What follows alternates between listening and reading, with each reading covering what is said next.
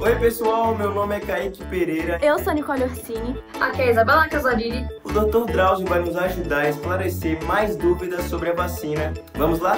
E a arroba Luísa Pereira 2 perguntou: Quais são os ingredientes para a vacina, ou seja, como é feita a vacina?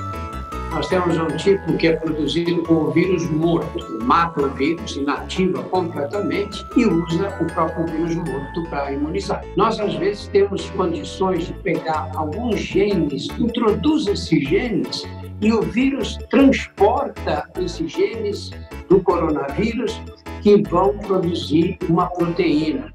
E essa proteína vai imunizar a pessoa. Outras vezes nós pegamos um fragmento de RNA, ele vai produzir uma proteína da cápsula do vírus e estimular o sistema imunológico para reagir. Dr. Drauzio, agora uma pergunta pessoal e eu queria saber se quem for vacinado vai ficar para sempre imune do Covid ou vai ter que tomar reforços da vacina ao longo do tempo. Olha, Nicole, nós não sabemos quanto tempo vai durar a imunização para cada uma dessas vacinas. A corrente de pensamento dominante hoje é que nós vamos ter uma imunização que vai durar um período. Acho que nós vamos precisar repetir essa vacinação.